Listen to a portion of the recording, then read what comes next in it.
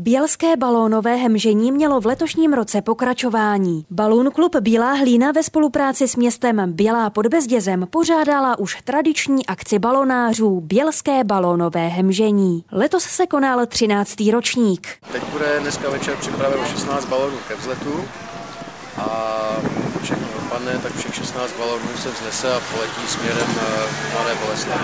A kolik osob je jedna posádka? Kolik se vejde do balónu? Jedna ideální jedna posádka je čtyři lidi, pilot plus tři lidi do provodu.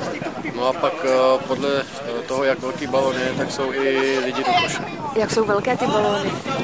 Ty balony, velikost eh, obalu je zhruba od toho 2200 metrů krychlových až do, dneska už se dá říct, že jsou i 10 000 metrů krychlových, ale to jsou velké balony pasažerské a ty jsou pro 10-15 lidí. Jakou se běžně létá rychlostí? Ta rychlost závisí na rychlosti větru. Když vám bude foukat vítr o rychlosti zhruba 6 km za hodinu, tak za tu hodinu letíte zhruba těch 6 km ale ty obvyklé lety eh, jsou tak kolem těch 10 kilometrů, protože silnější vítr pak je nebezpečný pro to přistávání. Když by se s vámi někdo rád proletěl, co má pro to udělat? Přihlásit se u nás, stránka klubu Bílá Hina, my to prostě dokážeme zprostředkovat.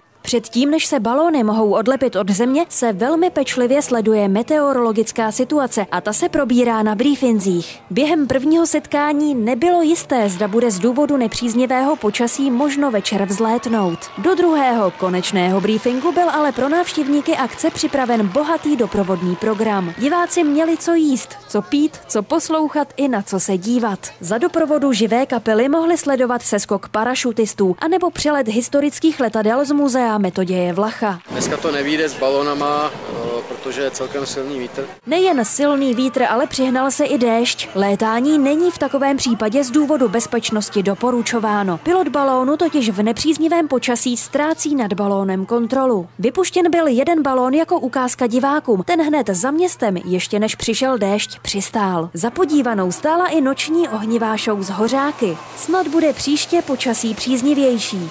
Pro první Boleslavskou Blanka Holoubková.